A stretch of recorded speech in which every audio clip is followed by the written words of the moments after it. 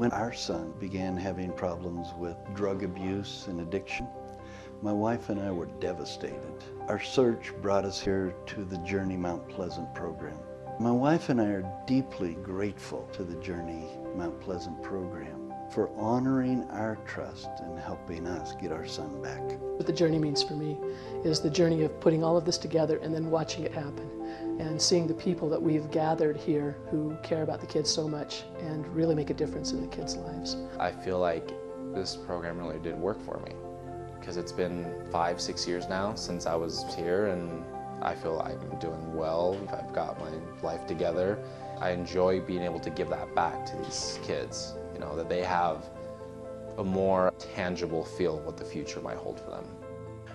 When I see a kid graduate, it's, it's an overwhelming feeling of joy. Those kids have come so far.